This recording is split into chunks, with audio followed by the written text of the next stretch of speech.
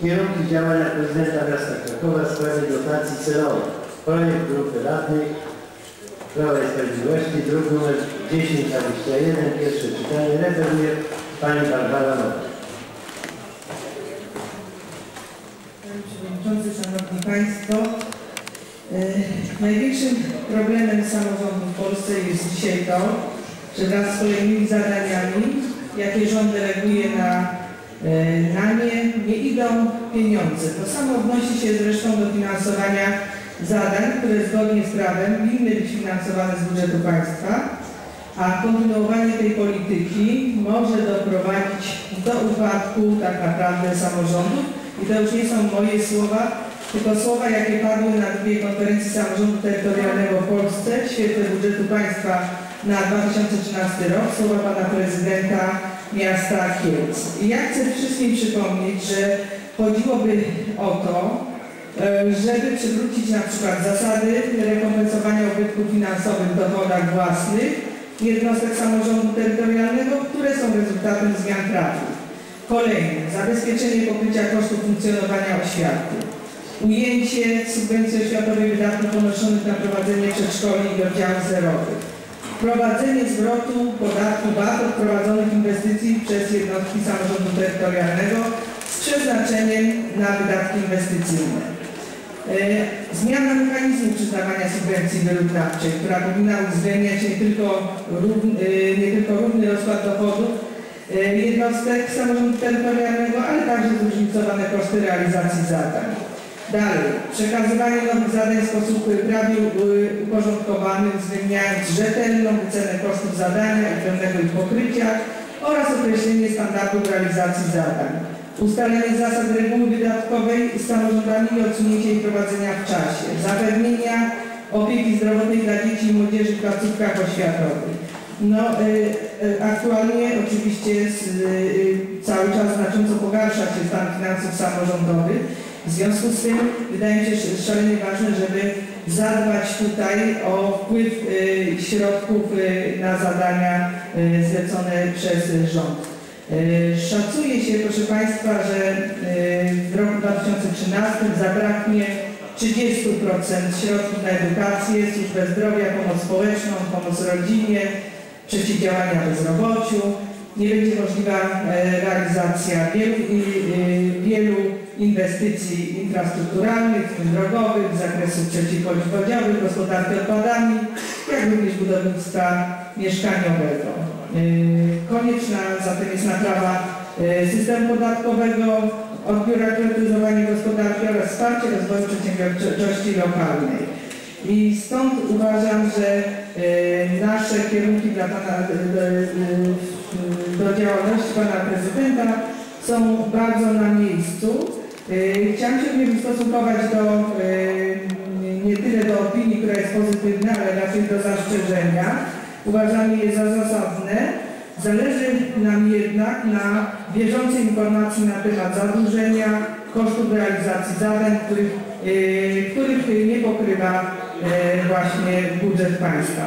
I na koniec chciałabym powiedzieć, że myślę, że nie trzeba byłoby tych wszystkich podwyżek, jakie co chwilę tutaj y, padają, jakie są realizowane w Radzie Miasta Krakowa, podnoszone w Radzie Miasta Krakowa, gdyby pieniądze na zadania zlecone przez rząd wpływały do budżetu samorządu.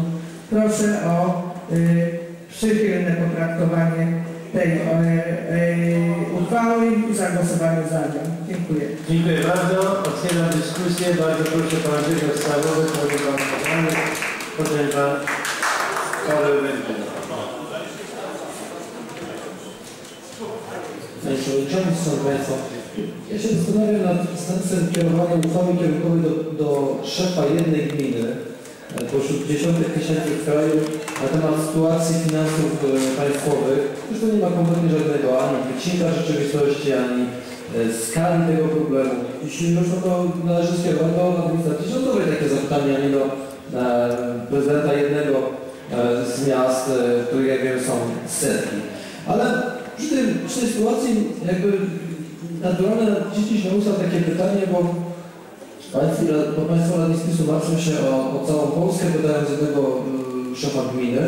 Natomiast y, tego samego szefa gminy próbują odwołać w e, referendum, które podpisuje dwóch radnych PiSu, Adam Kalita i Marcin Szymański. W związku z tym moje pytanie do Państwa z jest takie, czy chcecie tego prezydenta pytać i o co on ma, czy on ma coś tam zrobić, czy ma mu zlecić jakąś robotę, czy chcecie go odwołać, dlatego że mam tutaj wniosek podpisany przez radnych z PiSu o odwołanie prezydenta, prezydenta miasta Krakowa i odwołanie Rady Miasta Krakowa. W związku z tym moje pytania są dwa. Po pierwsze, kiedy prezydent ma to zrobić, jak chcecie odwołać tego czasu, bo referendum się odbędzie od tego czasu, a po drugie, dlaczego Rada Miasta będzie głosować z tą uchwałą, skoro ma być odwołana? Dziękuję bardzo. Dziękuję bardzo. W kwestii formalnej Pan yy, za chwileczkę będzie Państwu robić. Kwestii formalnej Pan Bolesław Kosior. Formalnej kwestii. Kwestii formalnej. I będziemy dalej procedować. Panie Przewodniczący, Szanowni Panie i Panowie Radni, no i pozostałe osoby, które reprezentują Urząd Miasta. Panie Przewodniczący, proszę nie imputować, jakby nie insynuować nam, radnym Klubu Prawa i Sprawiedliwości, że odwołujemy prezydenta. Oświadczam tu z tego, że ani władze partii, ani klub partii nie podejmuje takich działań. Nie wiem dlaczego tak to zbularyzowało, z tego co wiem, to raczej chyba jakaś organizacja. Koledzy dwaj są członkami klubu, natomiast nie są członkami partii. Tak jak u Was w partii, tak samo u nas podejmuje się decyzje takich ważnych spraw na wyższych szczeblach. To tytułem informacji, żeby nie było niedomówień. Natomiast ta uchwała, to co Państwo y, żeście, a może jeszcze uzupełnię. Właśnie byłem zaskoczony, jak przyszedł jeden z redaktorów i prosił mnie do stolika prasowego. Pytam się w jakiej sprawie? W sprawie referendum. No, powiedziałem panu, że to po prostu jest nieporozumienie i tak dalej. Ale mówię, temat, temat pewnie będzie jutro w prasie, w takim razie i ja nie wiem, jakie zachow- zachowa e, Prawo i Sprawiedliwość do tego wniosku. S- Zobaczymy na pewno w tej sprawie, jeżeli będzie, to na pewno zwołamy konferencję i powiadomimy wszystkich tutaj również obecnych o, o decyzji Prawa i Sprawiedliwości.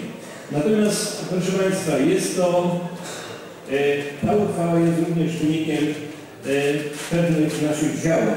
To jest tekst, który między innymi ja dzisiaj wycofałem właśnie tej komisji dotyczącej e, monitorowania zadłużenia miasta, a ta uchwała wchodziła gdyby, komponowała się między innymi również w ten cykl uchwał. Ja powiem dlaczego Państwu, dlaczego tak się stało. Ponieważ no, żeśmy dostali budżet, przeanalizowaliśmy ten budżet, okazało się, że ona wymaga jeszcze pewnych dopracowań. Plus do tego rzeczywiście po- pozyskaliśmy jeszcze informacje, które powinny się znaleźć e, w tej komisji. Liczę na to, że Państwo również e, znajdziecie się e, w tej komisji. Proszę Państwa, e, to, czy my się do, będziemy się zwracać do e, całej Polski, do rządu czy tego, to jest inną kwestią. Nas interesuje przede wszystkim nasz samorząd, nas interesuje Kraków. I proszę wziąć pod uwagę następującą rzecz. Tak jak, dlaczego jesteśmy generalnie przeciw odstąpieniu od drugiego czyta, e, czytania e, uchwał budżetowych? Ponieważ nie ma czasu, wielu z Was nie ma czasu, ja też czasami, ze względu na ich zawodowe i rodzinne, zapoznać się z tym. Nie wierzę, nie wierzę, że siedzące tu osoby w całości znają te uchwały i wiedzą skąd to się pojawia. Natomiast jest jeszcze jedna ważna rzecz. Dowiadujemy się o zadłużeniu miasta w dwóch momentach. Przy, przy budżecie i przy absolutorium. A ja chciałbym wiedzieć, i moi ko- koleżanka i koledzy, myślę, że Państwo również, jak, jak to się dzieje w trakcie, jak już nie po to, żeby powoływać komisję i przepytywać, tak jak żeśmy w komisji yy, przepytywali dyrektorów wydziałów. I wtedy się wiele rzeczy żeśmy dopiero dowiadywali, kiedy brak płynności, jak jest. Chciałbym wiedzieć od Pana Prezydenta naszego miasta w trakcie po prostu roku. Jak, jak miasto jest zadłużane? Mam, mam takie prawo, my również mamy takie prawo wiedzieć. Myślę, że ta wiedza posłużyłaby nie tylko nam, ale również wszystkim. To tyle, dziękuję bardzo. Dziękuję. To jest normalny. Bardzo proszę pan Andrzej Harana. Potem pan Paweł. Proszę, potem pan przewodniczący. Nie lista. A jest. No to dobrze. To lecimy. Pan Grzegorz Samowy jeszcze raz. Szanowny Panie Przewodniczący, Szanowni Państwo, co prawda mam spore wątpliwości, czy wystąpienie mojego przedmówcy było wystąpienie w kwestiach formalnych, no zostawmy ten temat z boku. Bardzo się cieszę, że projekt tej uchwały referowała Pani Radna Nowa. Dlaczego się cieszę? Dlatego, bo Pani Radna Nowa jest nauczycielką, o ile mi wiadomo. W związku z powyższym, między innymi na jej pensję przeznaczane są pieniądze z dotacji na nauczycieli. Tak? Pani Radna Nowak mówi, że ta, że ta dotacja nie wystarcza na pokrycie około 30% środków przeznaczanych na ten cel.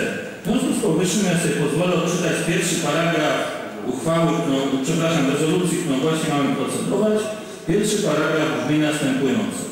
Zadania zlecone z zakresu administracji rządowej winny być realizowane do wysokości środków przeznaczonych z budżetu państwa w formie, w formie dotacji celowej. Czyli zgodnie z tym paragrafem i zgodnie z tą rezolucją 30% nauczycieli nie dostaje pensji. Proszę Państwa, jeżeli z taką propo- propozycją wys- występuje Pani nauczycielka, to to jest propozycja godna pochwały. No, nie wiem, czy jej środowisko, jej koleżanki, czy koledzy będą z tego zadowolone, ale jeżeli taka jest wola, to może należałoby się poważnie zastanowić nad poparciem tej rezolucji, proszę Państwa. W tej sytuacji za parę, paręnaście mie- miesięcy problem niedofinansowania oświaty zniknie. Nauczyciele po prostu sami zwolnią się z pracy, dlatego bo nie będą dostawali pieniędzy i siłą rzeczy będą musieli poszukać innej pracy. Jakie będą inne konsekwencje przyjęcia tej rezolucji? No cóż, jeżeli przyjmiemy tą rezolucję, gmina przestanie realizować pewne ustawowe obowiązki. No może tak należy zrobić. Rozumiem, że taki jest pomysł klubu PiSu na prawidłowe funkcjonowanie gminy. A być może pomysł jest inny. Więc być może jest to kolejna z uchwał, która ma spowodować skłócenie ludzi i doprowadzenie do dużego wybuchu fermentu społecznego, jak to na forum ogólnokrajowym niektórzy członkowie partii PiS robią i usiłują do tego doprowadzić. Mieliśmy troty znalezione w y, kadłubie tu po lewa, teraz mamy Bruno na K, a następnie mamy przestać realizować zadania gminy i przestać płacić nauczycielom, przestać przeznaczać pieniądze na domy pomocy społecznej i przestać przeznaczać pieniądze na wszystkie zadania, na które dotacja z, z, z rządowa nie wystarcza. Proszę Państwa, no ja się pytam, czy PiS chce rewolucji do tego dąży i czym to się skończy, ale jeżeli, że tak powiem, z taką propozycją występuje nauczycielka, żeby nie dawać pieniędzy na nauczycieli, to ja osobiście, jako człowiek odpowiedzialny za finanse z tytułu Rady Miasta, poważnie się nad taką propozycją zastanowię, bo w przyszłorocznym budżecie nie będziemy mieli problemu z y, edukacją, ponieważ tych nauczycieli już nie będzie. Dziękuję.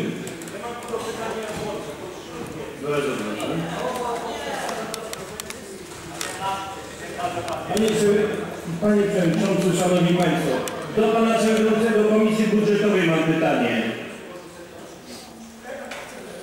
Już jestem. Do Pana mam pytanie. Czy Pan, bo Pan mówił o rezolucji, a tu jest projekt uchwały według druku 1021. Chyba się Pan pomylił.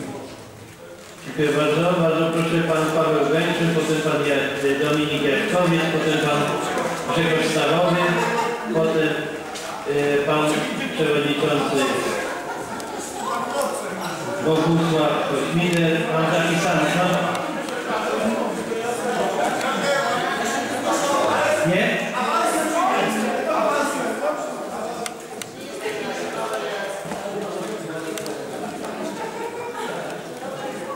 Panie Przewodniczący, Państwo Radni, e, w zasadzie Pan Karnanek e, większość powiedział tego, co chciałem poruszyć. Dlatego mam tylko dwa konkretne pytania, żeby się upewnić, czy to właśnie e, projektodawców tej uchwały. Czy paragraf pierwszy należy rozumieć tak, jak tutaj przedstawił to radny Kawranek, że Państwo chcecie, żeby Pan Prezydent nie dopłacał, to e, zadań zleconych przez Państwo, czy tak to Państwo rozumiecie? I e, pytanie drugie. Wiadomo, że nie ma możliwości dochodzenia przez e, samorządy należności od Skarbu Państwa. Wobec tego jakie Państwo macie na myśli mechanizmy prawne w tym drugim punkcie? Znaczy jakie, że tak powiem, tutaj ma instrumenty gmina, żeby dochodzić należności od Skarbu Państwa? Dziękuję bardzo. Bardzo proszę pan Dominik Jaśkowiec, potem pan Bogusław Kośniuk. Potem pan Smok. Szanowni Państwo, na początek pewna satysfakcja, bowiem Klub Prawa i Sprawiedliwości bardzo ostro atakował wielokrotnie moją komisję mnie samego e, w pracach nad nowelizacją statutu. Dzisiaj mam satysfakcję, bo z owocu tej nowelizacji Klub Prawa i Sprawiedliwości korzysta. Bowiem zgłosiliście Państwo projekt klubowy właśnie dzięki temu, że znowelizowali- znowelizowaliśmy statut, bo już wcześniej takiej możliwości nie było. Ale żeby ta satysfakcja była pełna, to chciałem złożyć wniosek o odrzucenie tego projektu uchwały w pierwszym czytaniu. Dziękuję.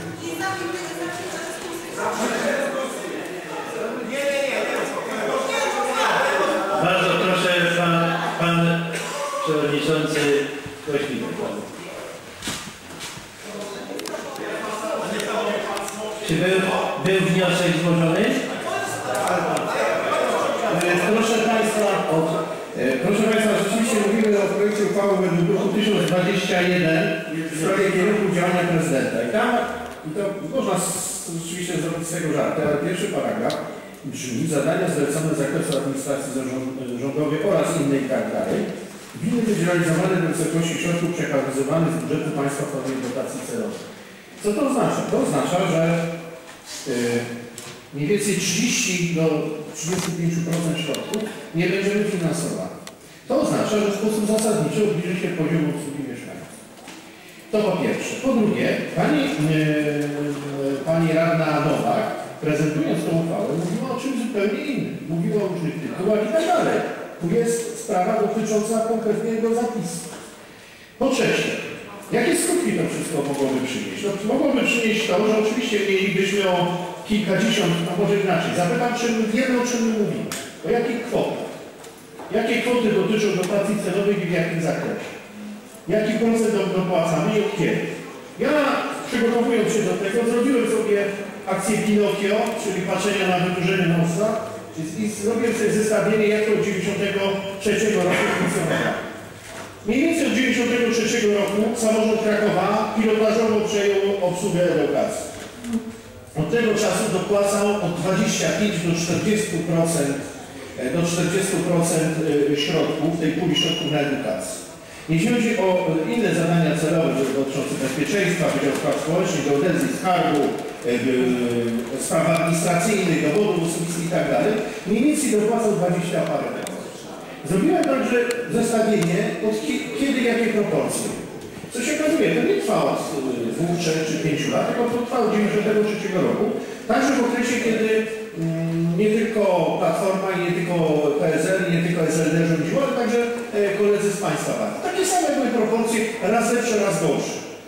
Po prostu taka jest niestety specyfika tego.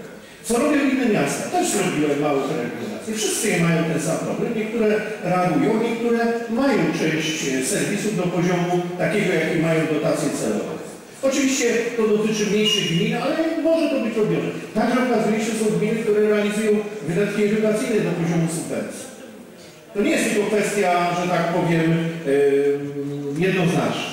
Kolejna sprawa. Państwo mówicie tutaj o dochodzeniu różnych praw. My zgodziliśmy się, przegłosowaliśmy parę miesięcy temu i z tego co wiem 1 grudnia odbędzie się pierwsze posiedzenie Trybunału Konstytucyjnego, gdzie ze skargi naszego miasta i Rady Miasta Warszawy zaskarżamy nam część przepisów dotyczących ustawy o finansach publicznych. Zgodziliśmy się na to, no to o czym tutaj mówimy? Jeszcze raz się mamy na coś takiego zgadzać? No chyba trochę niepotrzebnie. Mm, Proszę Państwa, od mieszania nie robi się słodsze. A to jest takie klasyczne mieszanie, z którego nie wiem, co ma wyniknąć. Część rzeczy już poszła w trybie sądowym, część rzeczy no w ogóle nie dotyczy, o czym Pani e, Rada ogóle nie dotyczy tego, tej uchwały, a zapisy, które tutaj są, no mogą prowadzić do tego, że w sposób dramatyczny pogorszy się obsługa mieszkańców. My, kiedy w 1996 roku nasi poprzednicy godzili się na to, żeby przejąć zadania edukacyjne, mieliśmy świadomość, że będziemy do nich dopłacać.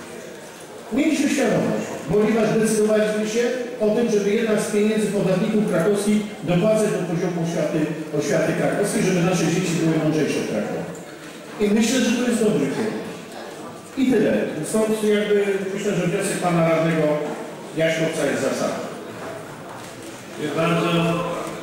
Proszę.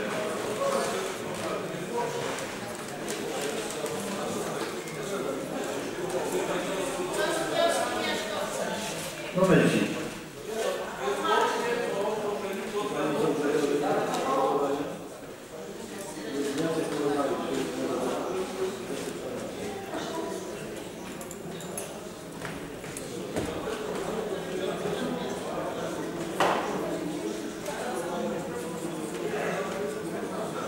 Tak. Bardzo proszę pan Bogusław Smok, potem pan Bolesław Kościół. A, Pan Mirosław Dzieracki, bardzo proszę. Pan Mirosław Dzieracki. Jest, bo ja mam tu listę, a to jest inny. No, a bardzo proszę, pan Mirosław Dzieracki, proszę. Dziękuję bardzo. Pan Bogusław Smok. Bardzo proszę. Dziękuję bardzo. Pan Bartłomiej Garda. Bardzo proszę. Potem pan Bogusław Bolesław Kosiel. Szanowni Państwo, ja tego miałem zamiaru głosu, ale natomiast zabiorę tylko dlatego, że to mi się podoba forma, że tak ośmieszać tą całą kwestię. Oczywiście dla mnie osobiście ta ustawa, uchwała nie ma szansy, żeby w ogóle przeszła w tej formie i to zdajemy sobie sprawę, że to było kompletnie na miejscu, zważywszy na sytuację i wiemy doskonale, że po prostu tak jest skonstruowany budżet jednostki miasta, że my się na to już godzimy od dawna. Na to, że dopłacamy do różnych funkcji, którą pa- państwo na, na nas nakłada który nam zleca i, i niestety nie dofinansowuje to. Natomiast sam problem jest y, dość istotny i on faktycznie się pojawia coraz częściej. Więcej miast występuje o to, że, że, że to zaczyna być już za dużo tych nakładanych na nas obowiązków, a my nie jesteśmy w stanie się nich wywiązać. I te budżety, my doskonale o tym wiemy, że mamy budżety za małe na to, żeby realizować je na takich stopniach, jak do tej pory chcieliśmy ponieważ wiadomo, wzrastają pensje, wzrastają różne, różne opłaty, które są głosowane w Warszawie, natomiast na nas spada cały ciężar podjęcia tych tematów. I w związku z tym przestajemy realizować takie podstawowe zadania, którymi my się tutaj powinniśmy zająć. I, I z tego powodu nie uważam, że to jest temat y, nieistotny, że trzeba to tak ośmieszyć i, i powiedzieć, że to w ogóle nie ma o czym mówić, po prostu na to zgadzamy się. Bo uważam dokładnie odwrotnie, że o tym trzeba mówić, trzeba zastanowić się, czy ten kierunek my jako samorządowcy, nie jako politycy powinniśmy to e, tak przyjmować i, mówić, że wszystko jest dobrze i brać, jak tutaj niektórzy mówią, na klatę całe te problemy i nie, nie, nie, nie przejmować się tymi rzeczami. Natomiast faktycznie, faktycznie no, przyjęcie tego w takiej formie jak tutaj no, nie jest realizowalne. Że Państwo taką, składając taką uchwałę chyba wiedzieli o tym. No, wydaje mi się, że to jakiś manewr kompletnie innego typu. Nie miał na celu chyba doprowadzenia do, do, do wykonania paragrafu pierwszego, bo chyba każdy świadomy człowiek zdaje się tę sprawę nie da go wykonać w, tej, w, tej, aspekcie. Natomiast cały problem tego, że nakłada się na samorządy coraz większe obowiązki, za które nie idą finansowanie yy, jest, jest istotny i uważam, że faktycznie należy go podnieść i o nim dyskutować, więc y, dziękuję bardzo. Dziękuję bardzo, bardzo proszę pan Bolesław Kosior, a pani.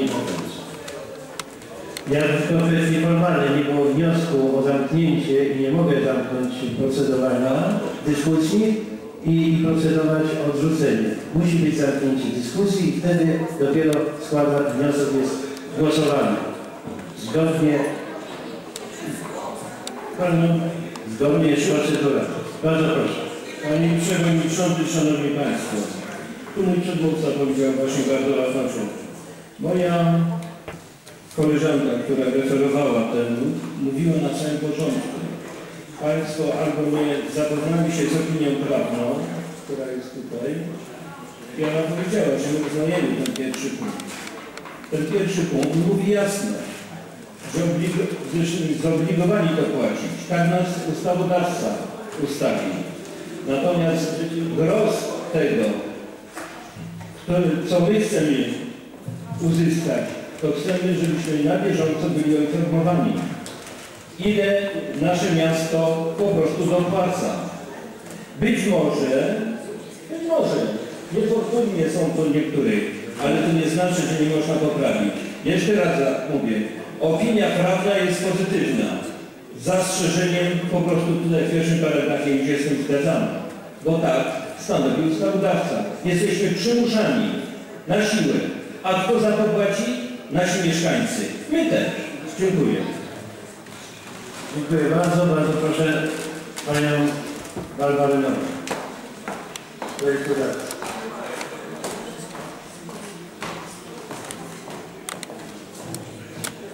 Tak, no y, trochę się zawiodłam y, na panu, zwłaszcza panie Hawranek. Ja byłam przekonana, że jak mówię o uchwale i mówię o poprawce, pan ma obie rzeczy przed oczami albo pamięci i pan rozumie, co ja mówię.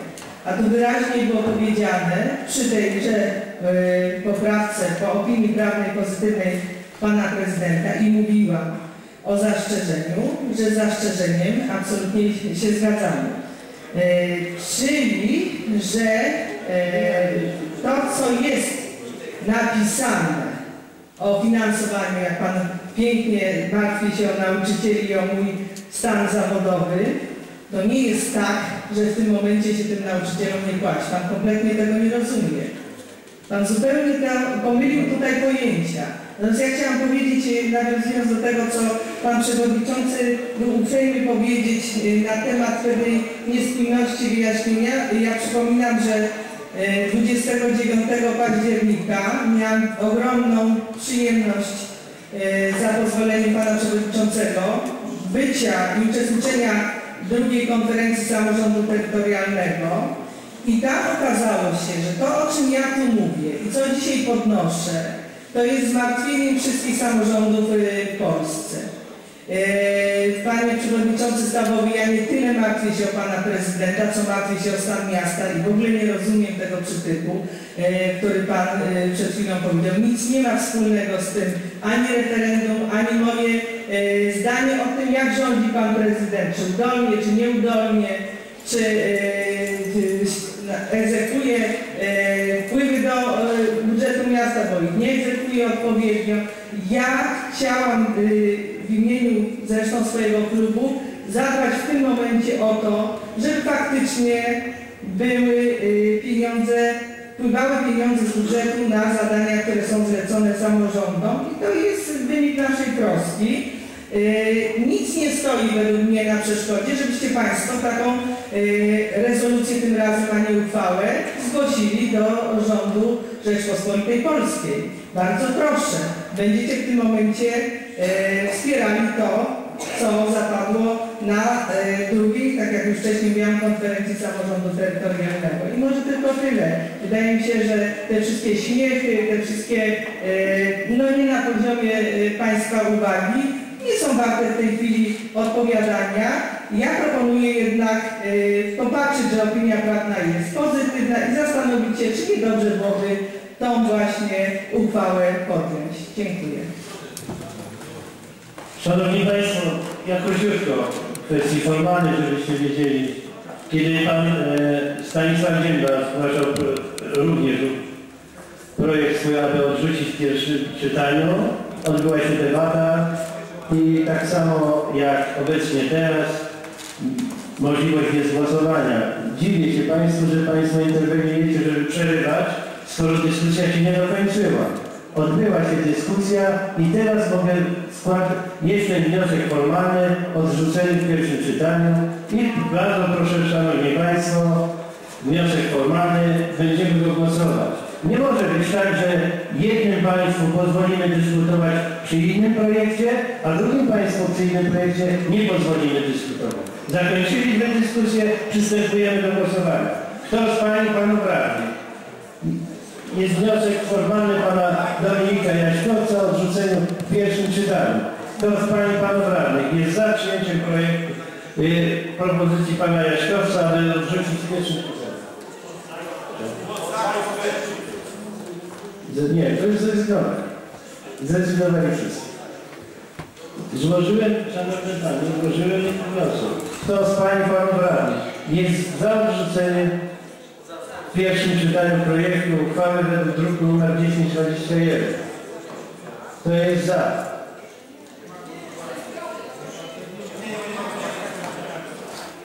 Wniosku pana Jaśkowca głosujemy. Za odrzuceniem w pierwszym czytaniu. Ja rozumiem Państwa, że macie większość, ale musicie zrozumieć, że dyskusja musi się dokończyć, a potem są wnioski. Gdyby był wniosek, ja tylko mówię, kwestii formalnej, żeby był wniosek, tak jak Pani złożyła oficjalnie, to bym przerwał dyskusję, a musiałem dokończyć. To więc czekam. Kto jest za? Kto jest, działa? Jest, działa? Nie działa.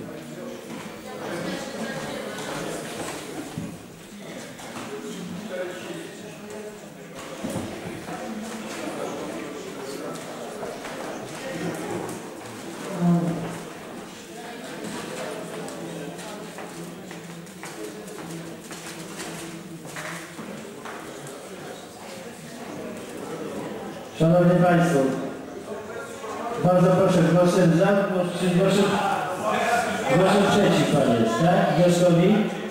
Pan jest głosem za, czy głosem przeciw temu wnioskowi? Jest przerwany, bo naprawiają. No.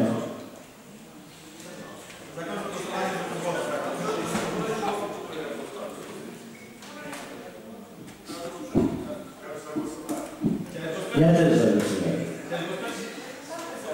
Czekamy. Już?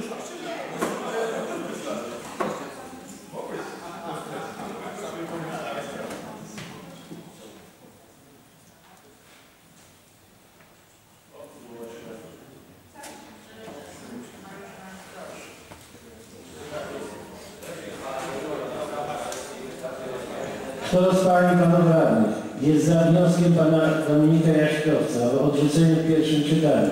Kto jest za? Kto jest przeciw? Kto się wstrzymał? Bardzo proszę o wynik.